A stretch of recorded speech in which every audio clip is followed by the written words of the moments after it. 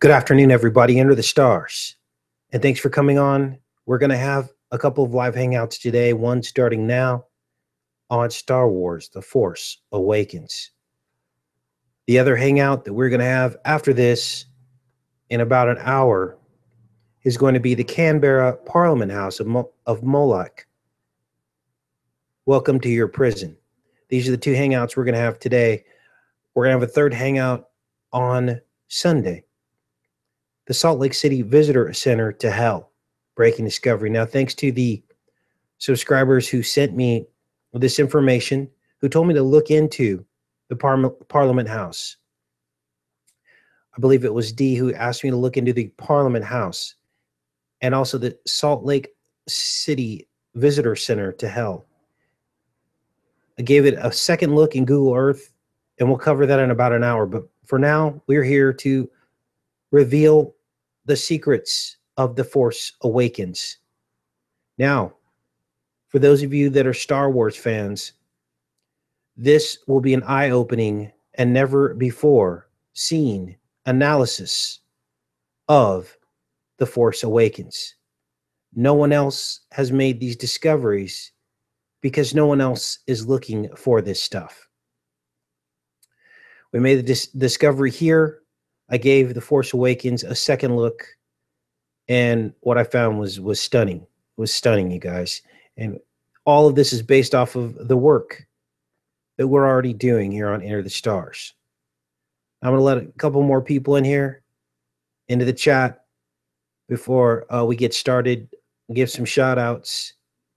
Mind FK Texan 7 asked me about CamStudio flashing box pops up.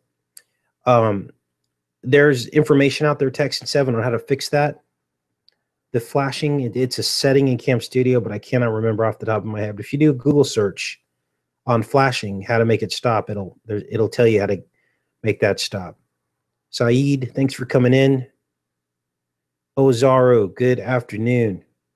Finally, I'm awake. Josie Wales, Michael Grace, Cindy, Whaley, Albert Kerr, Cindy running amok. Richard. All right, you guys, we're going to go ahead and get started. Now, this is nuts. I know I always say that, but it I'm ne- they never cease to amaze me. Now, The Force Awakens came out. You guessed it on Saturnalia, December of 2015 the second day of the festival of Saturnalia. And we covered on this channel months before this ever released. Months before it ever released, we were covering Saturnalia. We're also covering the hexagon on the North Pole of Saturn. Yes, there is a physical hexagonal feature on the North Pole of Saturn. Now, for those of you that are Star Wars fans that watched this film, you understand that the Rebel base was on a planet that had rings like Saturn. And at the First Order, which was kind of like the Third Reich, right? They were like the Nazis. Their base was the giant eye, and they had a hexagon at the top, which was the central part of the base. Now, what you're looking at is a three dimensional view of the center of this base, the, the uh, first order base, going down the center. And on the top of this is a hexagonal feature, but you're looking at a relief of the hexagon. This is a hexagon. Now, the hexagon is also a cube. A hexagon is also a cube. And what the hexagon represents, for those of you that are new to this channel, is the hexagon is the honeycomb. It is the matrix that we are stuck in. Now, this scene, the screenshot that you were looking at, is where Han Solo walks out onto this narrow gate and he meets Kylo Ren, his son. So you have the father and the son. And of course, Kylo Ren has this he has this lightsaber that is shaped like a cross. And of course, Kylo Ren kills his dad, Han Solo. Here, of course, is the hexagonal tunnel, so to speak. Okay. This is Han Solo falling. Now, this is, gives me chills because everything that they're talking about is the mirror opposites of the truth. This is all Antichrist. So, the Father didn't fall into the matrix. The Son was supposed to fall into the matrix. Kylo Ren is supposed to be the Jesus figure with the sword. Here's his cross, crucified on the cross. But everything's backwards. Instead of Christ being good, they're showing an antichrist. The dark side on the dark cross. The red cross is his lightsaber. And instead of the sun falling to earth into the matrix, they're showing the father falling into the matrix. Now, what am I talking about? The matrix. Well, let me break it down further. And this may be one of my best decodes because they wrote everything that we've been talking about into Star Wars, the film, before any of us have seen this. Now, am I tooting my own horn? No, I'm not. Tooting the horn of the Holy Spirit that is revealing these things to us before they happen. And here is the proof right here. What you're looking at on your right is the discovery that we made on this channel of the narrow gate. This is the hyaloid canal of the inner eye. And for those of you that don't believe what I'm saying, go back onto this channel and check and see when these discoveries were made on this channel before this film came out. The narrow gate to heaven. This is the staff, the staff of Moses, the staff of Aaron, the staff of Jacob. This is the narrow gate with serpents all around it, wrapped around it, trying to stop you from reaching heaven. This is also time. The sine wave is the serpent wrapped around this staff, going up and down, having us locked in time. If you look at a graph of a sine wave, you will see exactly that a straight line with a serpent wrapped around it. Now, how did Moses know about this? God instructed him to erect a pole with a serpent around it. And he told the Israelites to stare at it because they were complaining that they had to eat manna and that they were in the wilderness with no food. And God reminded them of where they came from. He reminded them of the narrow gate to heaven. Now, we live on this earth. This is the earth. It's a convex lens. The planets, the sun and the moon, comets, asteroids all float around in this void. And the stars are fixed in the firmament all along the edge. This is your universe encoded right into your human body. Now, the star, the what you're seeing in here is the called the cube star matrix. Many of you will recognize this as the Star of David. If you count these dots, the cube contains 37 dots, and the star surrounding it, along with the cube, is the 73 dots. And 37 is the 12th prime number, and 73 is the 21st prime number. 12 and 21 are mirrors of one another, as are 37 and 73, a mirror of each other. And here is our reality the prison is this cube. Again, the prison is the cube. This is at the North Pole of Saturn. This is the cube. We are locked in sine wave, the sin. And what you're looking at on the right is an exact duplicate of the depiction and the storyline the Father and the Son on the narrow gate, the remnant left over. The Son kills the Father, though. You see, this is the mockery. The Son turns dark and kills the Father on this narrow gate in the film. And here you see the giant hexagon. Because Christ had to fall into this matrix. He fell from heaven into our matrix world, born and live as a man. When was he born? When let's talk about when Christ was conceived. He was conceived on 12 21. And nine months later, he was born on 9 11.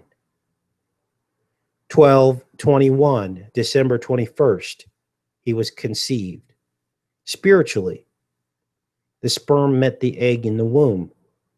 This is the womb. Nine months later, he was born on 9 11. Do the math. Do the math. 12 21, the darkest day of the year, Christ fell from heaven to bring life to the world so that we could have everlasting life. 12 21 was the date, and 37 is the 12th prime number, and 73 is the 21st prime number. And the entire story of the history of mankind is encoded within your eye. And that is why we are seeing this depiction here of the dark side versus the light side. This is it right here, you guys. Make no mistake. Now, just before the scene, Chewbacca goes around and he plants these thermal detonators all on along these piers to blow up the matrix, right? This is the matrix and the thermal detonators look like eyes all staring in at what was going on here now just before this scene this is the the image we get as Rey looks up in the sky and this huge death star thing is powered by a sun and again we see the narrow gate but here's the problem it's powered by their sun god. And there it is. Make no mistake. This is exactly what you're looking at right here. There's the narrow gate. Their God is powered by the sun. Our God is much more mighty than the sun. This is the subliminal programming. I'm going to go in here in the chat, make sure you guys are pick you guys up off the floor because you're probably just blown away right now with all this. But this is the truth. Okay. All right. Thanks, Kim, for coming in and moderating. We got a couple more people in the house DC4, Michael Grace, Wendell. Much love to you guys. Guys have any questions, go ahead and pop them in the chat, and I'll try to catch them as they kind of go by. Brother Ken just saw this movie last night. There's a reason why you just saw the movie last night, Brother Ken. None, nothing is by accident. And uh, God knew you would come here today to make sense of it. All right. Uh, Channel Life Path likes the new header. I I got some design skills, so I put together a new new channel banner for my page, and uh, he's going to update that on my website as well. Um, just to tell a little bit more of the story of what Enter the Stars is and what, what we've discovered here. Okay, so here we go, you guys. Let's let's continue on with this because it gets much much deeper. So here we are. There's the narrow gate. This is Ren, or uh, her name was Rey. Looking at this, at just as it's about to suck all the rest of this out of here, out of the sun. It's powered by the sun, and then and then the sun dies, and then the, the, the weapon is powered and energized and ready to fire. And this is what we're looking at. It's almost exactly the same angle as well. Now, let's continue. Here's the final scene again before Han Solo falls to his death, falls into the matrix. But as we know, Christ was the one who was crucified and fell into our matrix world so that we could have everlasting life. Now, we're going to go ahead and button this up because I want to show you guys the rest of the story. Because you're asking yourself, where's the cross? Where's Jesus in all this? Okay, because I just described to you the 1221, December 21st, when he was conceived and fell through the hyaloid canal, through the narrow gate into our world, die for us. But it goes deeper because back here is where Christ is. He's in the cross, crucified, where these optic nerves come out of the back of your eye and they cross in the middle near your pineal gland. And that is where Christ was. That's where he he died. Now the Bible says that the that the temple veil was ripped from top to bottom. And there was a great earthquake. This is the temple veil ripped from top to bottom when Christ was crucified. Right before your eyes is what you're looking at here. All right, let's close this back. Let's pop this up here. Now, this is the end of the film when Rey finds Luke Skywalker. And here they show Rey on the serpent trail first. And then they show her on the straight trail just before she reaches Luke Skywalker. Now, for those of you that are unsure of what this means, I'm going to show it to you. This is what they're pic- depicting. They're depicting the sine wave. They're depicting this. This is our reality we're stuck in. We're stuck in the reality of time, time and space. Heaven is not like this. In heaven, there is no beginning and no end. Let's take a look at this.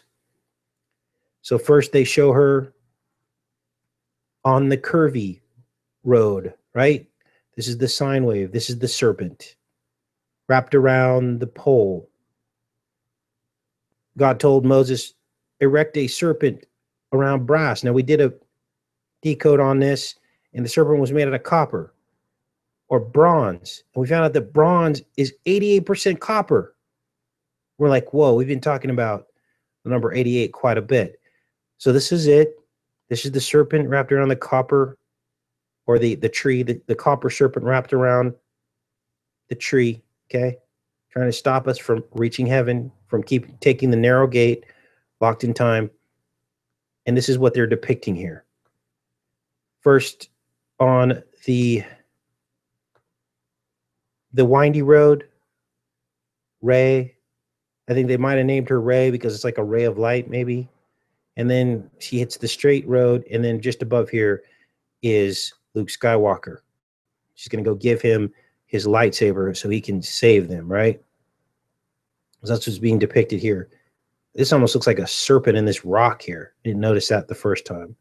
Like, like towering over here, her, threatening to take her. Now, why do they do this? Why do they put this stuff in the film, you guys, like this? Why do they do this? They do it because it's part of their sorcery, because no one's getting it. Probably 5,000 people on this channel get this in the entire world. Okay, I, am not even going to say that all 32,000 of my subscribers here under, are understanding this. We're the only channel talking about this stuff. So why do they put it in the films? Because they never anticipated that anyone would figure it out. So we are rare. Okay. Why are we different? Because we care enough to relentlessly search for the truth. That's what makes us different. All right. Okay, let's go in here. Now, so I thought to myself, so I'm looking at this and I pull this up and I'm going, okay, Harrison Ford and Kylo Ren, his son, and his son kills him, crucifies him with the cross shaped lightsaber. Everything in reverse. It's like you're watching a polar opposite of the real story. And I go, okay, there's there's got to be a relationship between these two characters other than what we see on the screen. And yes, in fact, there was. Harrison Ford, born in 1942. We've talked all about this 42 number, you guys. This is so important. A rainbow can only be viewed at 42 degrees. I'll say that again. A rainbow can only be viewed at 42 degrees. This was a covenant that God made with Noah after the flood that he would never again destroy the world with water. With water. This cavity is filled with vitreous humor or water. This is just like the womb of a child that gestates for 40 weeks inside the womb. It rained for 40 days and 40 nights. The Israelites were in the wilderness for 40 years before they crossed the Red Sea. And it was parted. The remnant of Israel passed through. And there is a small vein or artery that comes through here, through the hyaloid canal.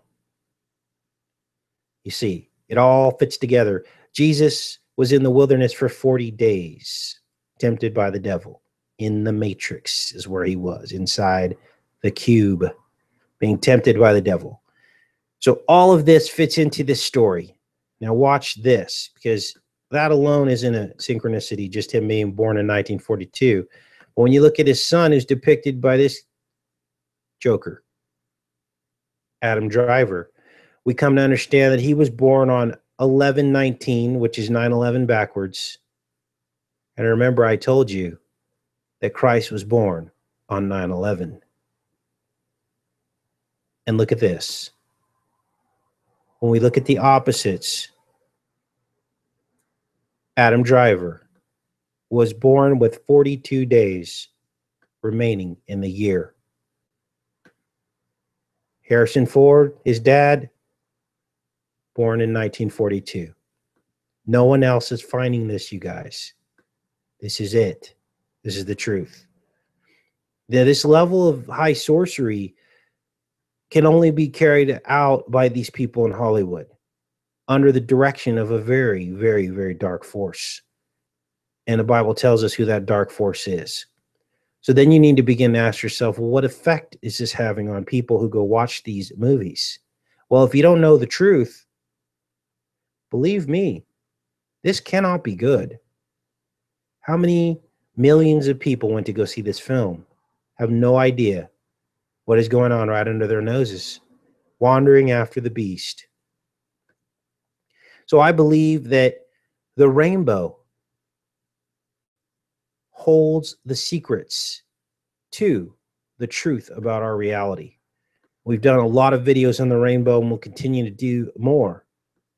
But one thing I know for sure I actually mer- measured the the degree angle of this convex lens. This is the lens inside your inner eye. And I found that this angle is 42 degrees. So if we could find a way to figure out what else is encoded in this lens, we might find additional secrets. We'll keep working on that those things I am positive will be revealed to us in time. So that's how God works, right? We hunger for truth. We want to know Him better, know Him more, and little by little, He shows us the truth.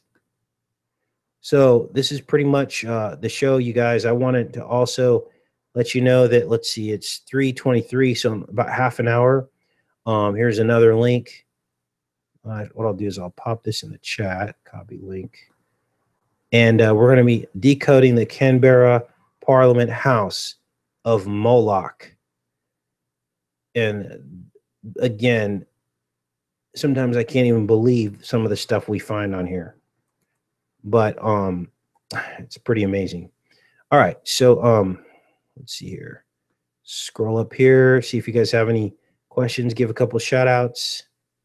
Thanks everybody for showing up. All right. So now, now there's probably many, many, many more levels of decoding to do on Star Wars, but I think we hit the main point. And uh, the main points, Brother Ken, Wendell. Let's see here. Who else do we have in here? Les C. Wilson, Harrison Ford is a reptilian shapeshifter. Um, months aren't 28 days. Don't think they are either. They're like off a day or two. It all is based on the move. 42 is the answer. Yes, the secret to the universe, some people say, says Brother Ken. Finally, I'm awake. 40 weeks we carry baby. Yes, it is 40 weeks after the last menstruation. And that is the key. That, That is the secret because it coincides with everything in the Bible that we just talked about the flood, the Israelites, and Jesus in the wilderness. Do you see how it creates a perfect circle?